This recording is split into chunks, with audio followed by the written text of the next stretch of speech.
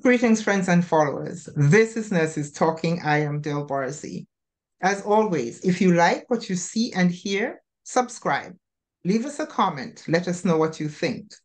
Here on Nurses Talking, we speak to nurses anywhere in the world and at any stage in their nursing journey, from students to retirees and anywhere in between. Today, I'm very pleased to welcome Jeannie Ngan. Jeannie is a registered nurse. She was a peer mentor throughout her college years for younger nursing students. She graduated a three-year accelerated nursing program at the age of 20.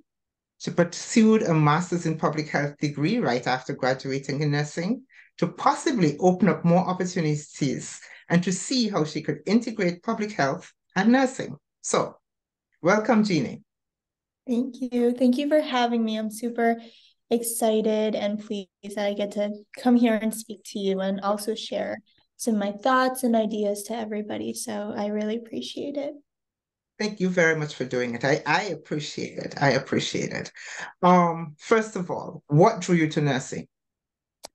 Um, I think what drew me to nursing was kind of like sounds a little bit cliche. I think from a younger age, I was very inclined to help um, others, and I think I just had this nurturing aspect in me where, for instance, I remember my mom would always tell me in second grade when I was at the playground with my friends, I guess we both were on the monkey bars and we both fell and I immediately went to her. We were both bleeding like through our knees. We scraped our knees and I immediately went to her and was like, "Hey, are you okay?" and like tried to grab her a band-aid. So, I think just from a younger age, I really wanted to kind of seek to help others and make sure that they were okay both on a physical and emotional aspect. Um so i would say just also watching my mom take care of her parents it was kind of a very big eye opener for me where she was always helping them feed them or you know take them to places and helping with their um, everyday activities. So that also made me kind of realize I want to be there for someone and make sure, you know, ease any of the burdens that they have. So I think that's what kind of rooted and stems the nurturing aspect that I have and why I wanted to um, be a nurse. Mm, all right. So what I'm hearing is that if EA it was innate, and then the environment also nurtured that. Your mom, right? Um, right. Your mom's uh, example actually nurtured mm-hmm. that. So having all of that um, from a very young age, mm-hmm and coming into first of all an, acceler- an accelerated pro- accelerated program mm-hmm. um, what were the challenges for you um, i would say that there were a variety of challenges for me I would say that the challenges were being in a nursing program that was three years. Three years was already very difficult because everything was vigorous and just very fast in timeline. So that was something that kind of struck out to me. But another important aspect was COVID. So I was in nursing school at the peak of COVID. Um, around 2020, we had to switch into virtual clinicals. So our clinicals were on our laptops and we would have to film skill sets through Zoom. And I remember being like, Am I not experienced? Because in class, you're working directly with a patient or directly with your classmate. But through Zoom, I had to use a teddy bear. So the teddy bear is unable to respond to me. They're unable to tell me what their pain scale is or how they're mm-hmm. feeling. So it was a lot of very, it was just very difficult because yeah. I also didn't feel as though I got the perfect example since COVID hit. So, you know, you can only do so much through the camera. You can't really interact with a teddy bear or a fake model. So that was definitely difficult. Um, and I would also say that another thing was being so young. I think a lot of hardships I've faced, especially in the work field, was a lot of patients doubting you or your older nurses looking at you like, hey, they're not as experienced or they graduated so soon, you know, they might not know anything or retain a lot. So mm-hmm. a lot of the things I've dealt with were patients looking at me and being like, oh, are you my nurse? And I'd be like, yep, I'm your nurse today. um, so those were a lot of things, just being doubted and not um yeah. attaining yeah. the skills that you would in yeah. i can that that has to be very very very difficult attempting mm-hmm. to do that. Um mm-hmm. as you said you know a, a, teddy bear cannot communicate any feelings to you. There's there's this one of the things that's so um necessary in this in this profession is empathy. And how do you empathize with a teddy? Right yeah so i was just talking to myself but i i made it through so that was that was good yeah, I can see that. You have worked in in several different areas, mm-hmm. right? And then you settled on cardiology. Yeah. Why? So I've worked in um, inpatient psych. I've was a nursing assistant in the ER and just regular med surg. And I think I wanted to make sure that when I actually became a nurse, I was in a very patient, a diverse patient population. So, of course, various health conditions that would allow me to gain the skills that I need to become a stronger nurse, as well as, um, you know, patients of different backgrounds. I wanted to see and be with patients of different ages, different um, health conditions, and different nationalities and such. So, with that being said, I wanted to make sure that when I got into my actual nursing career transitioning from a um, nursing assistant to an RN, I wanted to make sure that I had a very strong basis and a strong foundation. So I thought cardiac was the perfect perfect set for me. It was critical, but I could also probably take some time to learn from the older nurses and see the uh, different cardiology things. Like I work with heart failure, a lot of end NSTEMIs, a lot of those type of mm. things. I think it being cardiology, that's where a lot of our, you know, our blood flow and everything. Yeah, yeah. So yeah, um, yeah. I think that that basically was what stemmed um, yeah. me wanting to yeah. be in cardiac initially. Yeah, yeah, yeah. Ca- cardiology, I guess, is well, uh, most things are, but it, I guess that that's an equal opportunity offender. Right. right. Like in inpatient psych, I'd say it helped me learn a lot of like emotional skills and being there mm-hmm. communication wise but i felt as though i wanted to work more hands on mm-hmm. and then in the er it was a little bit too fast paced for me yeah yeah, so, um, i kind of got i mean cardiology i think is a mix of everything every nursing field is a yeah. mix everything but yeah. I that it would allow me to um, have a strong foundation so that moving forward, I could kind of use those skills and integrate it into another um, type of nursing yeah. field. Yeah, yeah, and you have you have you have an interest in public health as well. I see you went you're going on to do um, graduate graduates in um, mm-hmm. public health.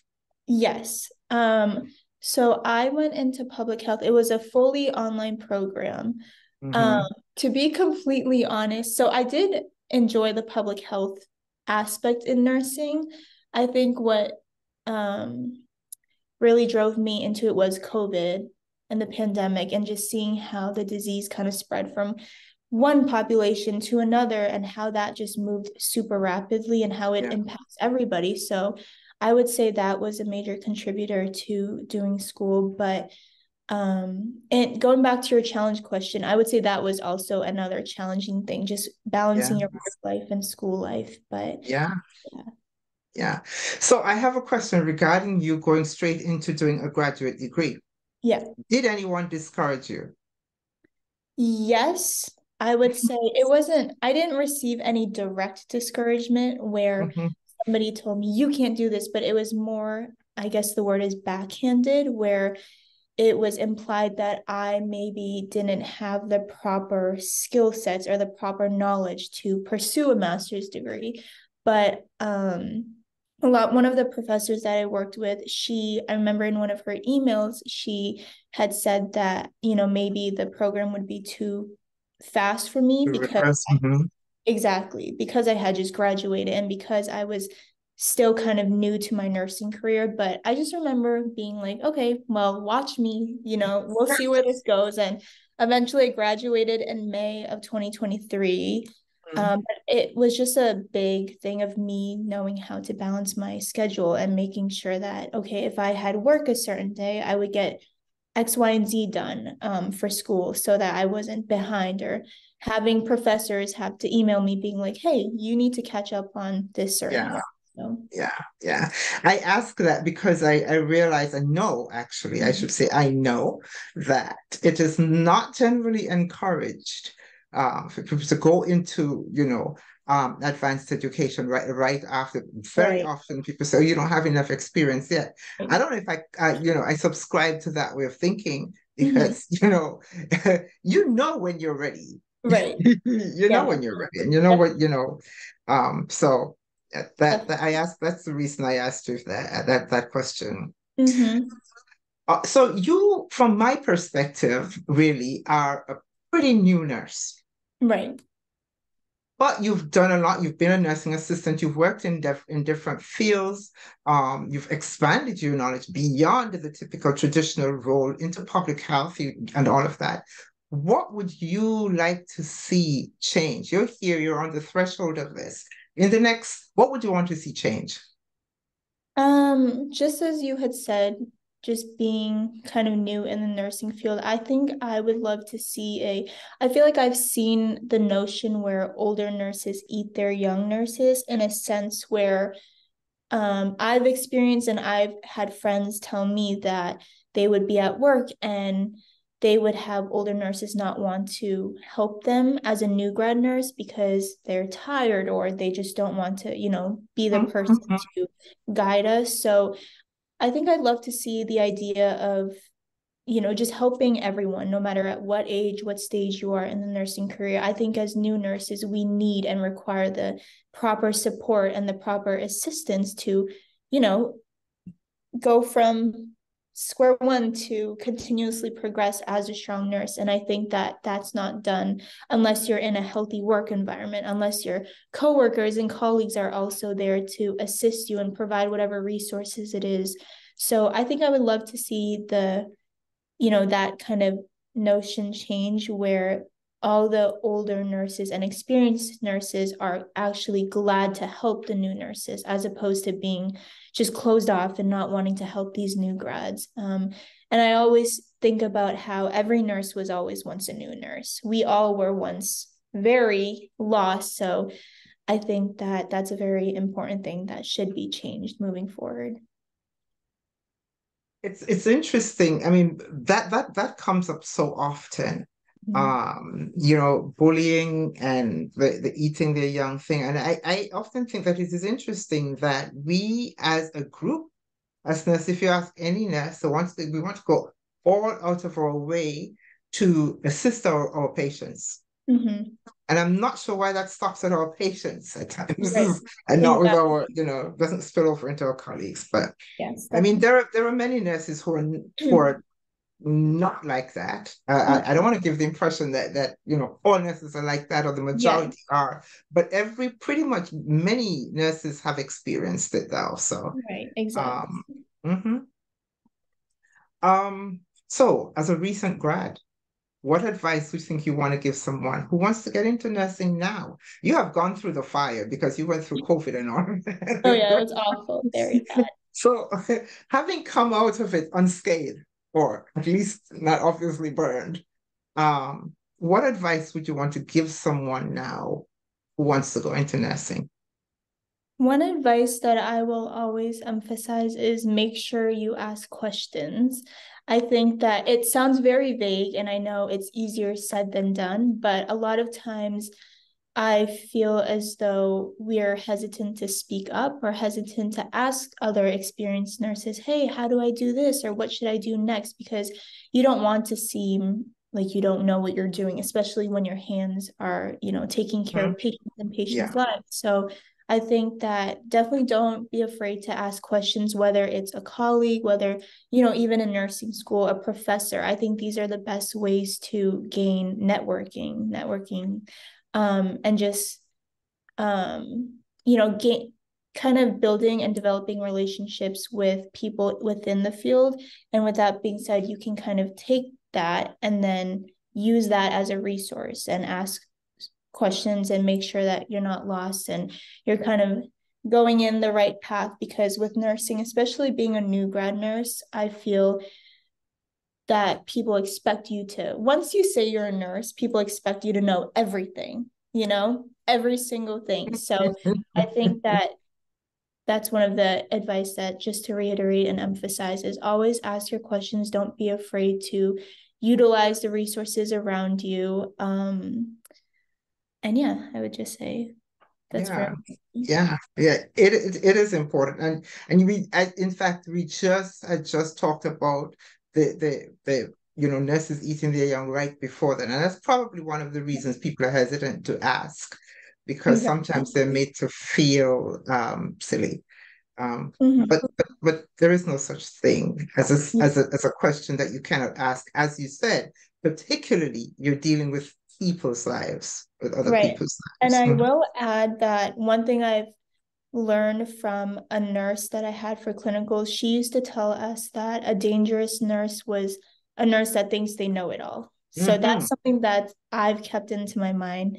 Um, so yeah, so definitely ask yeah. questions. You're not alone, and you'll never. Nursing is a very ongoing learning experience, so you're yeah. always learning everything. every. Yes, yes, and it does not matter how many, how long your your your um, nursing lifespan has been. There is something to learn every single time.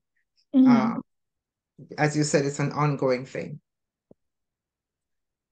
What would you say if you had to, being again um, a young nurse, what would you say is the most essential quality of a nurse at this point in your nursing career? If you had to describe it in just one word, what would that word be? I would say compassion. Mm-hmm. I think that compassion is very crucial in the nursing field because we have to be able to empathize with patients and their families no matter what they're going through. A lot of it is communication and I feel as though a lot of times nursing may be portrayed as something physical where you're taking care of them hands on, but it's also an emotional aspect where not only are you helping with helping them with their wound care, but you also have to be there and give them reassurance. We're here to encourage them and provide meticulous care. So I would say compassion. Compassion is very prominent in this field. Yeah, yeah, yeah, yeah. And I'm glad you brought up that it was absolutely much more than physical. Mm-hmm. Uh, physical is what our our the person that we're taking care of is what the, our customer or our um, consumer sees. Um, right. But physical is like this much, and we are actually towing this mm-hmm. much. Yeah. yeah. So yeah, it's much more than that. One of the things that, uh, especially I want to, you know, bring up bring up to you now is um, the issue of self care right? Mm-hmm. You're coming into nursing at a time when we are actually talking about it. I came into nursing at a time when I think, you know what, that that never was mentioned. And in retrospect, I think that if we, if I even spoke about it, it would have been someone would have looked at me as, as like, what do you mean you're in the equation? Right. so what does it mean to you? I would say self care to me overall is holistic. I think that it, excuse me, it involves the mind, your body, um, those who surround you. So I think that, for instance, like when we get our nails done or when we go get a massage, those are great self care fa- things you could do during your self care, which obviously can impact you and help you a lot. But I think a lot of times that it also involves a mental aspect where maybe it can involve you journaling or writing down what you have planned for further dates and scheduling because yes we can get our nails done or get a massage but that is just the one hour part of it where we're like ah, oh, we're, we feel relaxed but then when we go home it's like is everything are the issues or your self-care issues are those targeted but I don't think they are. So we need to, I would say self care is really finding the root factor of what is causing, you know, these issues or what is causing you to feel upset or stressed out. So not only is it the maintenance, like the nails, the hair, that type of stuff, but it's also digging into the emotional aspect of are you really okay? So that could a lot of that for me is like being active. I try to go to the gym, not always, but I try to. Um, being active, even if it's going on a walk, clearing your head. Mm-hmm. Um, or for me, I also enjoy journaling. So I like to write in my journal how I feel, what made me feel upset, and how I can improve on it. And that allows me to kind of be vulnerable and open up, not to anybody, but just to myself, even in a yeah. notebook. Mm-hmm. Right. Just um, discuss how I'm feeling and how moving forward I can I can improve on that so that I have more positive outcomes and better days. And that ties along with like getting your nails done and your hair and all that. So it's just a whole multitude of aspects, I would say, is yeah. Yeah, yeah. And I ask that I ask this of almost every every nurse because mm-hmm. so I say I really uh, it, it's so easy to get sucked into doing stuff that we can a neglect ourselves and b often when we think of taking care of ourselves, we think mm-hmm. of something superficial. Right. Um, which, you know, it needs to be a lot more than that. I agree. Yeah. It needs to be a lot more than that. Yeah. So before we go, is there any any last words you'd like to leave us with? I would just say some last words to leave everyone with is to make sure to use your resources around you. Never hesitate to ask a question. It definitely is very scary, but a lot of times you'd feel better knowing that you've got some reassurance or proper assistance than to go kind of maneuver in your own way. So definitely networking is important. Just, you know, even if it's mm-hmm. your professor after you graduate, reach out to them and ask them for advice or your colleagues or even, you know, other classmates that are in the same route as you. So I would say those are my last words to leave everyone with. thank you, thank you, thank you so much for that. And and I would just add to that that even beyond that, there are so many nursing organizations out there and so many groups yeah. um, mm-hmm. on, on, areas of interest. Uh, you know, even if you stayed quiet in a group and just read everybody else's comments, mm-hmm. you would get something from it. right, exactly. It's definitely yeah. very important. But yeah, um, I would like to say again, thank you for being able to speak with me. Um, it's my pleasure to be on this Zoom call with you and also get some experience or insight from you as well. So, yeah. Thank you so much for that, Jeannie. Thank you very much indeed. Thank you. All right.